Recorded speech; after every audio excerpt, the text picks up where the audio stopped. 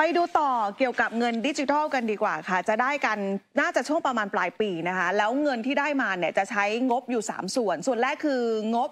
บริหารในปี 67 แล้วก็งบ 68 อีกส่วนหนึ่งคืองบที่มาจากมาตรา 28 ของทกสนะคะ เมื่อวานที่ผ่านมาค่ะ คุณจุลพันธ์เนี่ยพูดถึงโครงการเงินดิจิทัลที่ในส่วนของงบของทกสนะคะ โดยคณะกรรมการธนาคารเพื่อการเกษตร และสหกรณ์การเกษตรค่ะ โดยมีคุณจุลพันธ์อมรวิวัฒน์รัฐมนตรีช่วยว่าการกระทรวงการคลังเป็นประธาน ได้ให้สัมภาษณ์ค่ะว่าในฐานะที่คุณจุลพันธ์เนี่ยเป็นประธานบอร์ดไปแจ้งเรื่องความคืบหน้าโครงการเงินดิจิทัลวอลเล็ตค่ะ ที่ได้รับความเห็นชอบจากที่ประชุมคอรมอรวมถึงกระบวนการขั้นตอนในที่ประชุมให้ได้รับทราบกัน มั่นใจว่าเมื่อถึงเวลาดำเนินการ จะต้องได้รับความเห็นชอบจากบอร์ดธกส.อยู่แล้วตามขั้นตอนของกฎหมาย ซึ่งการหารือเมื่อวานที่เกิดขึ้นนะคะ ไม่ได้มีการหารือถึงรายละเอียดข้อกฎหมาย แต่ว่าหากมีข้อสงสัย ก็จะมีการชี้แจงเพื่อทำความเข้าใจกันค่ะ นอกจากนี้คุณจุลพันธ์ยังได้พูดถึงกรณีที่นักวิชาการหลายฝ่าย แบงก์ชาติ มีข้อห่วงใหญ่ เรื่องของเสถียรภาพทางการเงิน และความคุ้มค่าของโครงการ เรื่องนี้ไม่ค่อยเป็นห่วงเท่าไหร่นักนะคะ ส่วนคนที่ออกมาคัดค้านก็ต้องหาข้อมูลชี้แจงว่าทำไม จึงไม่ควรเดินหน้าโครงการ ซึ่งก็ถือว่าเป็นเรื่องธรรมดาไปฟังเสียงกันค่ะ ที่เห็นการแสดงความเป็นห่วงนักนะครับ คือถ้าเกิดคนต้องต้องเข้าใจว่าหนึ่งคือเราเป็นคนปฏิบัติ เราอยู่ด้านในนะครับ เรารู้ถึงความพร้อมและข้อกฎหมายนะครับ ในส่วนคนที่คัดค้านเนี่ยก็แน่นอนก็ต้องหามุมมามาพูดมามามาบอกว่าทำไม จึงไม่ควรเดินหน้าโครงการทั้งโครงการนั่นแหละนะครับก็เป็นเรื่องธรรมดานะครับ แต่ว่าอย่างไรก็ตามเนี่ยโดยความเป็นรัฐบาล เรามีความรับผิดชอบต่อประชาชน ผ่านทางการเลือกตั้ง ผ่านทางการแถลงนโยบายต่อรัฐสภานะครับ เพราะฉะนั้นเนี่ยนโยบายนี้ก็ต้องเดินหน้า ส่วนในเรื่องที่มีข้อห่วงใยใด ๆ เราก็รับฟังนะครับความเห็นที่มีมาทั้งหมดเรารับไว้ในสิ่งใดที่เอ่อครมสิ่งเอ่อได้สั่งการนะครับว่าให้รับความเห็น นะครับและนำไปพิจารณาดำเนินการ หมายความว่าก็ต้องไปดูว่าอะไรที่จะเป็นประโยชน์ อะไรที่เราพอพอที่จะปรับเปลี่ยนหรือว่าหากลไกมาป้องกันได้ในสิ่งที่เป็นข้อห่วงใยต่างๆเนี่ย ก็มั่นใจนะคะว่าทกสมีสภาพคล่อง และมีความพร้อมเพียงพอ ในเรื่องของแหล่งเงินทุนในการดำเนินโครงการ ไม่จำเป็นที่จะต้องให้ทกสไปกู้เงินจากธนาคารพาณิชย์ โดยมีกระทรวงการคลังนะคะเป็นผู้ค้ำประกันเพื่อนำเงินมาใช้ในโครงการนี้ให้เร็วขึ้นค่ะ ซึ่งรัฐบาลไม่เคยมีแนวคิดมาเข้ามาในที่ประชุมนี้นะคะ อีกทั้งรัฐบาลยังมีระยะเวลาถึง 8 เดือน เพื่อดำเนินการก่อนที่จะส่งเงินถึงมือประชาชน และก็ยังมีกลไกต่างๆ ที่จะเสริมความแข็งแกร่งให้กับทกสได้ด้วย ส่วนจะเป็นมาตรการไหน เดี๋ยวรอติดตามต่อไปนะคะพักภูมิใจไทยเนี่ยนะคะอืมดูเหมือนหัวหน้าพักกับลูกพัก ความคิดเห็นจะขัดแย้งกันนะคะใช่ เพราะว่าเอ่อคุณพุทธิพงศ์ปุณกันเนี่ยนะสมาชิกภูมิใจไทยเนี่ยก็คือเอ่อออกมาแสดงความคิดเห็นคัดค้านค่ะนะคะเกี่ยวกับโครงการนี้เนี่ยโอ้โหแล้วก็โพสต์ข้อความเนี่ยยาวเหยียดอยู่นะคะปรากฏว่านักข่าวเนี่ยนะคะก็เอ่อโทรศัพท์ไปสัมภาษณ์นายอนุทินชาญวิริกูลรองนายก และรัฐมนตรีกระทรวงมหาดไทย และก็เป็นหัวหน้าพักภูมิใจไทยนะคะเอ่อคุณอนุทินเนี่ยก็บอกว่าเรื่องนี้นะคะในฐานะหัวหน้าพักภูมิใจไทยขอยืนยันว่าพักภูมิใจไทย ในฐานะพักร่วมรัฐบาลต้องปฏิบัติตามนโยบายของรัฐบาล รูปแบบวิธีก็ต้องทำให้ถูกกฎหมายตามคำแนะนำและข้อเสนอแนะของ 3 หน่วยงานก็คือ 1. สำนักงานคณะกรรมการกฤษฎีกา 2. สำนักงานสภาพัฒนาการเศรษฐกิจและสังคมแห่งชาติ และก็ 3. กระทรวงคลัง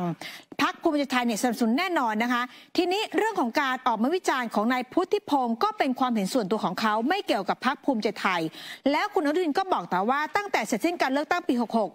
เขาเนี่ยนะคะก็คือนายพุทธิพงศ์เนี่ยไม่เคยเข้ามาร่วมกิจกรรมของพักเลย แม้แต่วันเกิดพักเมื่อวันที่ 6 เมษายนที่ผ่านมาเนี่ยก็ไม่ได้มา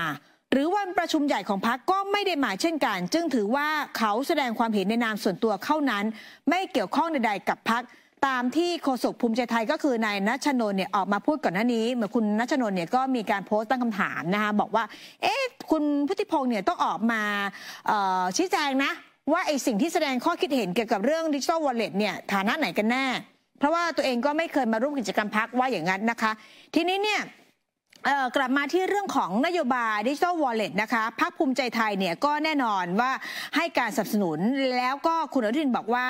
ขอให้ฟังผมคนเดียว อย่าไปฟังคนอื่นพักภูมิใจไทยมีสมาชิกตั้งหลายหมื่นคน เราไม่สามารถควบคุมความเห็นของแต่ละคนให้เหมือนกันได้ แต่ว่าเรื่องสำคัญเนี่ยต้องขอให้ฟังหัวหน้าพักเลขาพักหรือกรรมการบริหารพักเท่านั้นเองนะคะ ทีนี้มันมีประเด็นที่ค่ะเอ่อเสด็จพี่